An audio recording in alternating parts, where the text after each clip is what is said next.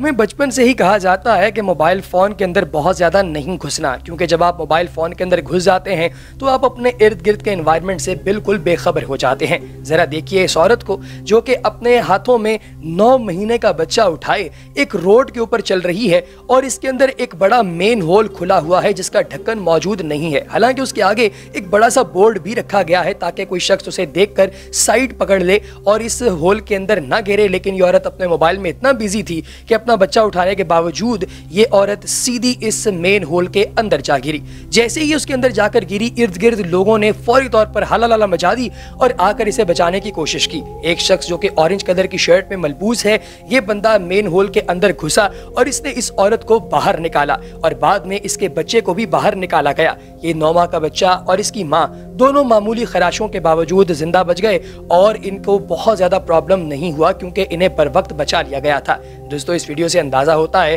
कि mobile phone हर जगह इस्तेमाल करने की जगह नहीं है। आपकी इस बारे में क्या राय है, कमेंट सेक्शन में ज़रूर बताइएगा।